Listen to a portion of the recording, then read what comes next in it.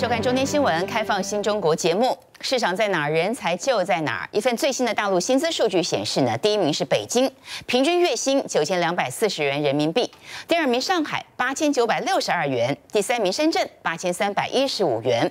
这个数字呢，如果算成台币的话，平均是四万元左右，那么比台湾的基本薪资二十二 K 高出许多。而这份数字也许解释了现在人才的流动，想要西进大陆找工作的台湾人不在少数。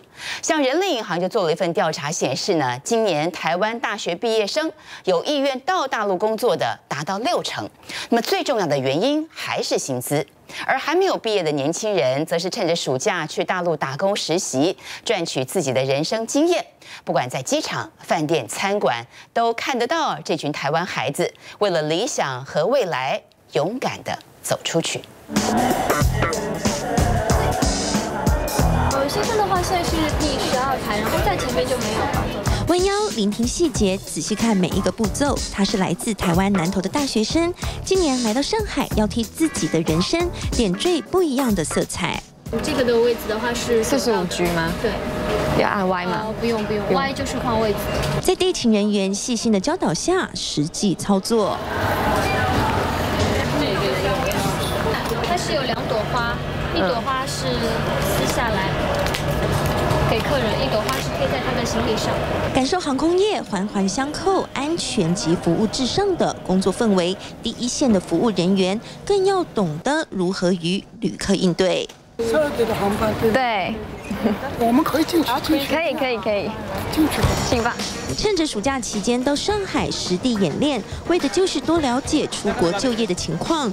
同行的实习生中也有硕士生，就读高音大研究所的蔡瑞红，求学期间透过交流机会去过新加坡，走访上海。他深感学历不再是就业保证，得走出舒适圈，替自己的未来找出路。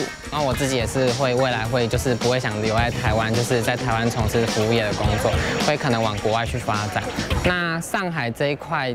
地的话，其实我在大学毕业前我就已经有在 focus，刚好这次机会来上海，也可以就是适应一下这个环境，看未来适不适合来到上海工作。根据台湾人力银行统计，二零一六年大学毕业生打算赴入找工作的占了百分之六十。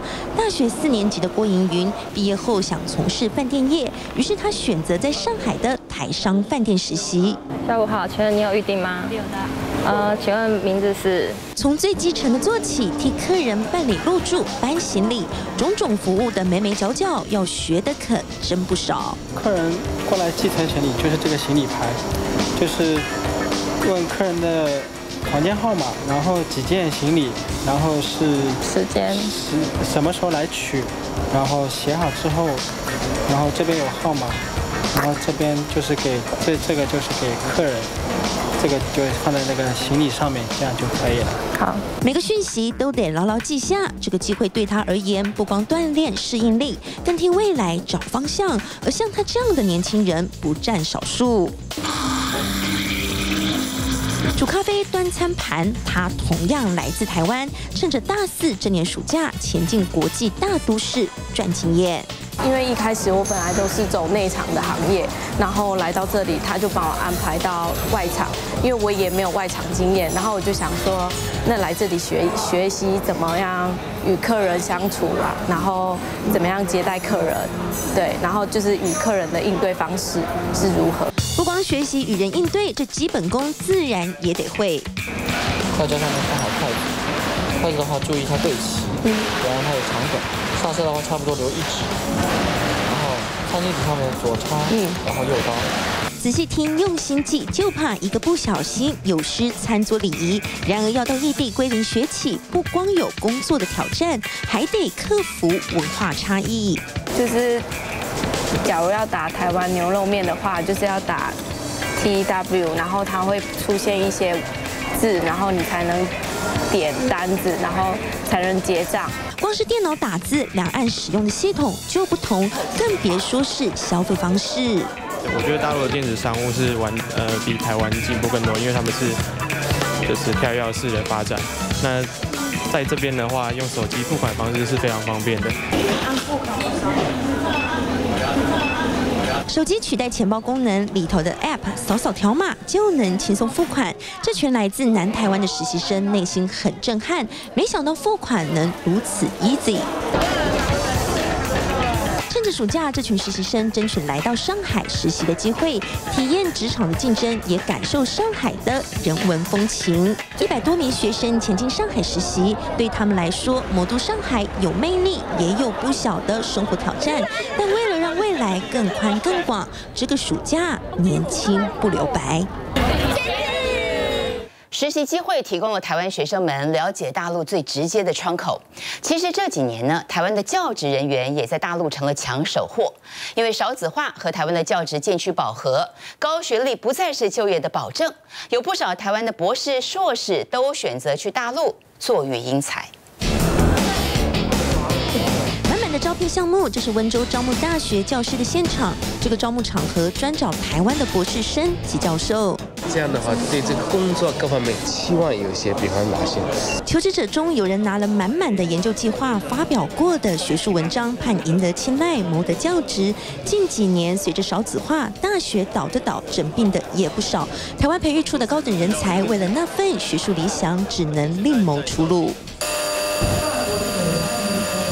你们的笔记哈，有一个国家也是玩一模一样这么干的，啊？No，德国是代表团制，所以德国的联邦参院是没有任期的。课堂上讲的生动，在这里教书三年半，他来自台湾，在进入知名的上海交大之前，其实历经了一番折腾。我零八年大概博士毕业哈，然后大概三十三岁左右，然后呢服兵一年，所以零九年中开始找，所以我大概找了三年半吧，三年半只有两次比较像样的 interview 的机会，好，那更不要说愿意用我了，所以真的觉得算了，这个不想再试下去了，因为毕竟年纪也不小了。政治大学政治所博士毕业，花了三年半的时间在台投递了近百封求职信，却没有一份适合的教职。本以为一毕业就能有份正式工作，没想到却找不到起步的机会。台湾没路，只能西进找路。好像我自己的经验，可能是大多数人比较有碰过的，就是他可能是在台湾先去试着找一下教职，然后因为台湾的状况不太好。所以可能不容易找到，最后呢选择来来这个大陆西进了。台湾高等教育人才出走，已经不是好位子与坏位子之争，是根本没位子。教育资源分配不均，土博士留学海外的高教人才在台湾难卡位，干脆力拼疆土。包括甚至海归，条件还挺好的，他们他们就觉得说不想在台湾这边，讲了不客气点就是缴获。哦，这边机会相对来讲比较多，而且甚至比较容易。哦，我讲容易就是容易有教职。虽然教职比台湾多，却其实不如外界所想象享受高薪待遇。同等职缺在这里的薪资仅有台湾助理教授的三分之一。大多数人来不是这样子，而是比较像包括我在内，都是所谓的芸芸众生吧。那既然芸芸众生，就没有什么特殊的那种高。高力度的扶持，而不会是那种重金礼聘。可能我比较乐观，而且我也觉得说啊，可能台湾没有太有机会来大陆。既然认命，好，那可能就会有更强大的动力，愿意去适应这边。有些人像黄宗浩，一试再试，真的等不到机会才选择西进；而有些人则是早就看透，不如早点附录试水温。股东权益等于公司资产减负债等于股东权益费走在校园与研究生探讨课程，李俊明北大法学博士学成后没选择回台任教，而是在上海交大钻研学术。不要说一开始就说这可以分成两块，应该是说。让人家逼着说你第一块不成立，我才说第二块，而你不应该被告一开始就帮防线退到后面了。在法庭教室里，仔细演你攻访，擅长企业并购、经济、财税法，像他这样到对岸念博士、学成干脆留下来的人越来越多。在台湾的话，未必说可能说他的选择不是很多啊。那么大陆的话，我觉得其实是可以可以考虑啊。但要来大陆的话，其实也不是说。一帆风顺了，我，就说你有优势啊，但可能也会有一些你必须要所谓的本土化、要在地化的一个适应的问题的。少子化的来临，造成台湾高教的大海啸。台湾高等教育人才出走背后所隐藏的问题，除了高等教育的资源分配、评鉴制度，更重要的是台湾的教育资源该怎么解套，得以留住人才。被视为全球第三次工业革命的 3D 列印市场，每年正以百分之三十的速度在增长。它的运用非常广泛。在北京，有一位清华大学的高材生，结合了 3D 列印跟煎饼，他把你拍的照片呢都印在煎饼上，新奇有趣。另一头，在北京通州呢，有一栋两层楼的别墅，只花了四十五天就列印出来。和其他印完再拼凑的房子不一样，它号称是全世界第一间 3D 整体列印的房屋。而这些都显示着，此刻在大陆呢，，3D 列印已经改变了你我的生活。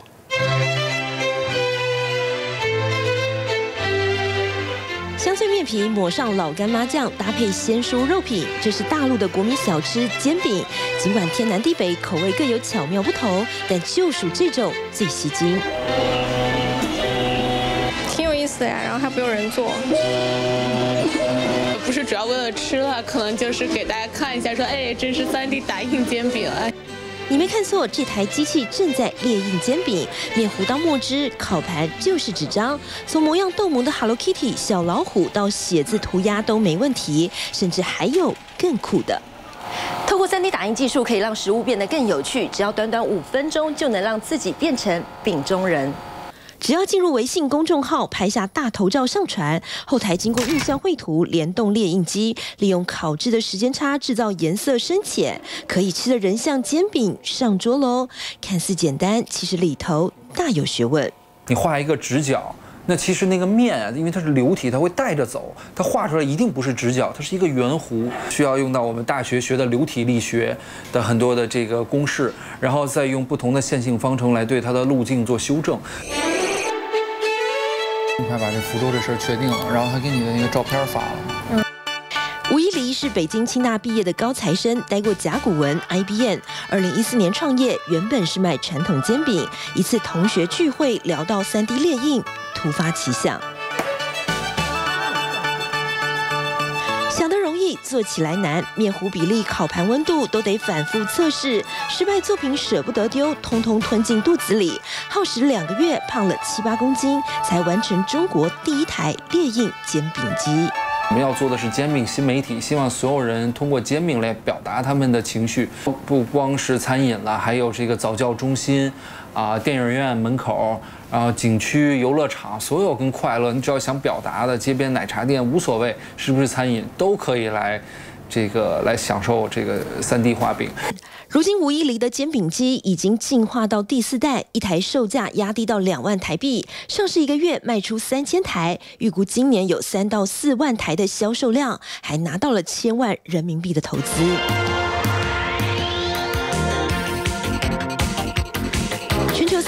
市场每年正以百分之三十的速度增长，去年大陆 3D 列印产值接近一百亿人民币，从概念阶段大步向应用迈进。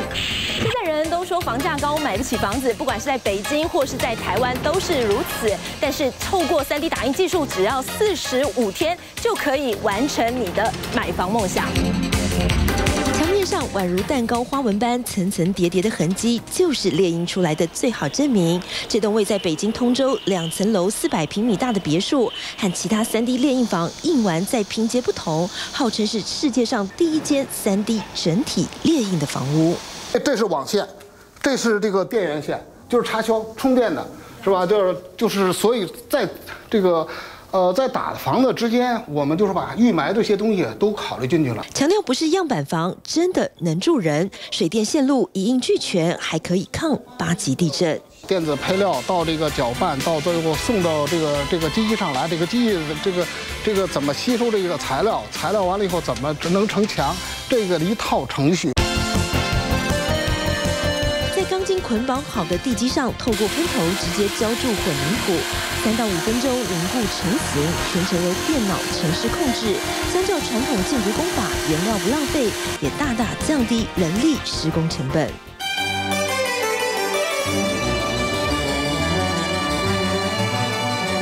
三 D 列印被称为是第三次工业革命的杀手级应用科技，正快速改变着你我食衣住行的生活方式。只有想不到。没有，用不了。接下来。来也是一个创新产业，和最近的很夯的宝可梦有点类似。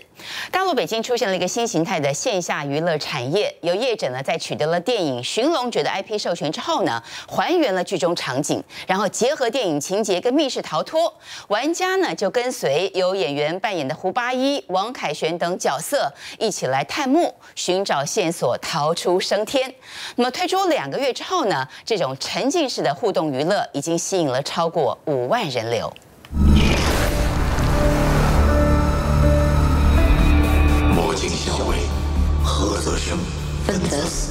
改编自大陆超人气探墓小说及陈坤、黄渤、舒淇等大卡司，电影《寻龙诀》二零一五年底上映，以超过十六亿人民币的成绩夺下华语片史票房亚军。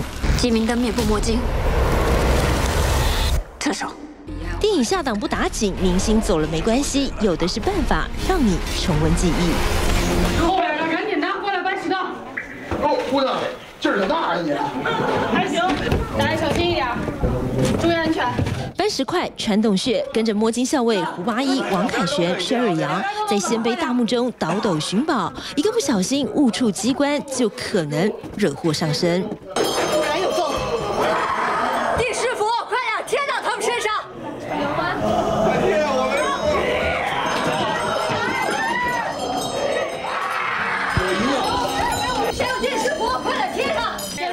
北京近来兴起的沉浸式互动娱乐，取得电影 IP 授权，还原剧中场景情节，结合密室脱逃，让玩家在与演员互动中真实体验盗墓快感。吴哥哥，这个灯好像可以动，灯可以动，对，可以转是吗？是。哦，对，这个门要炸了，快走，快走，马上要爆炸了。门开了。你先走，快快快点，你先走。加油！快快点，走走。挺紧张刺激的，因为真是没想到场景还挺吓人的，而且互动特别好。场景比较互动嘛，然后那个互动的感觉就跟真的一样。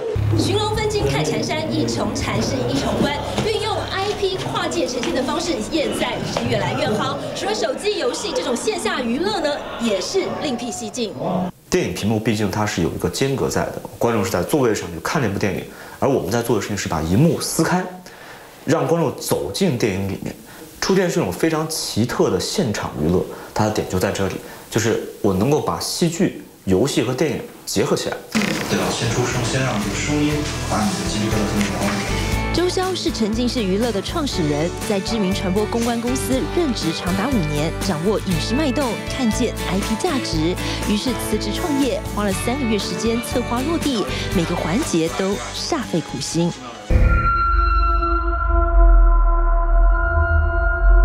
想让玩家有代入感，演员是关键。陈坤和苏苏琪他们那一个《寻龙诀》，我看了很多遍。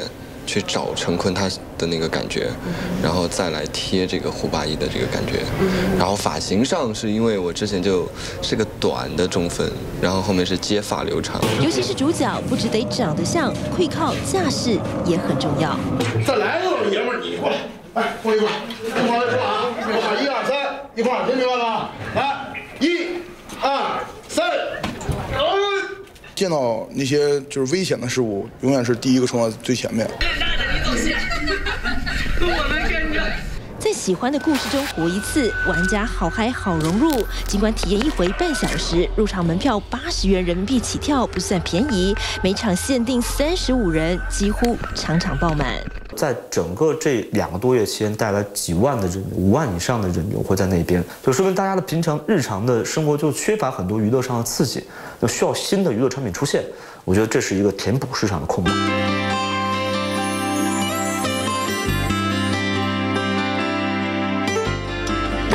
产业飙速成长，光是电影电视剧就有一千至两千亿人民币的市场，借 IP 带来的粉丝号召力，游戏趁势崛起，推陈出新，掀起影娱联动新风潮。今年七月，在土耳其所举行的世界遗产大会上，大陆广西的左江花山岩画成功入选，那么成为大陆第四十九个申遗成功的项目。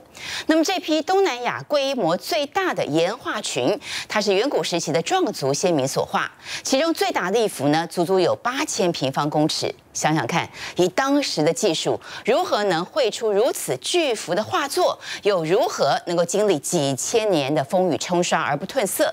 神秘莫测的岩画，就像是古埃及金字塔一样，也成为千百年来史学家持续探究的谜团。花山，壮语叫做巴莱，意思是有画的山。广西左江两岸壮丽的山壁上，有着千百年来难解的神秘岩画。长约一百零五公里的范围内，分布着三十八个岩画点，四千零五十个造型各异的图案，是东南亚规模最大的岩画群。其中的宁明花山岩画，更是世界上最大的一幅岩画。在这个崖壁上，它一共画了八千多平米的这个岩画面，画了一千九百五十一个图像。小的呢有二十厘米，但是大的就就很大了，三米五八。据研究，左江华山岩画应该是战国至东汉时期生活在左江两岸的壮族先民落月人所绘制，距今已有两千多年，以敦式人形为基础符号，形成一套独创的图像表达系统。基本这个图形就是两手上举，两腿半蹲的这么一种呃姿势，它跟其他岩画不一样。它表现的并不是生产生活的那种场景，而像我们这个壮族啊，在的逢年过节啊，进行那个祭祀的一种场面。而岩画当中，除了人形图案为大宗，还包括了马和狗等动物，他们所持拿的器具也反映出壮族社会当时进入铜器时代的面貌。羊角钮钟。短手刀、短剑，这些当地落月人进入铜器时代的标志性器物，在岩画中得到了大量的体现。只是这些岩画分布距离水面在十几公尺到上百公尺的峭壁上，很难想象远古的先民们到底是如何画上去的。你看整个崖壁，它没有。那些供你这个手脚能够是吧攀附上去的那些石缝是吧石棱是吧，所以你怎么想象啊爬你这蜘蛛人是吧？这个也爬就是做不到。专家推测，利用垂绳搭架，或是趁着水涨船高来作画都有可能，也都很困难。而历经两千多年风吹雨淋，画作的色彩依旧鲜明，也让人惊叹。红色那个地方，是得是得画，啊，一个铁红。那现在我们粘合剂，粘合剂啊，已经研究出来了。粘合剂啊，现在我们的文本里面写就十五家。抬头仰望岩壁之上的红色图像，想象两千年前远古先人是穷多少力量完成这鬼斧神工的图形创作。这面巨大的无字天书，等待后世持续探索。